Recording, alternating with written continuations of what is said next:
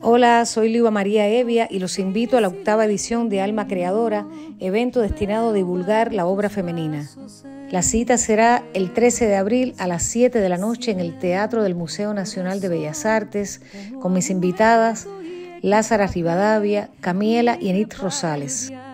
Y la clausura será el sábado 15 de abril a las 7 de la noche en el Teatro Martí donde además voy a presentar mi último trabajo discográfico para volverte a ver.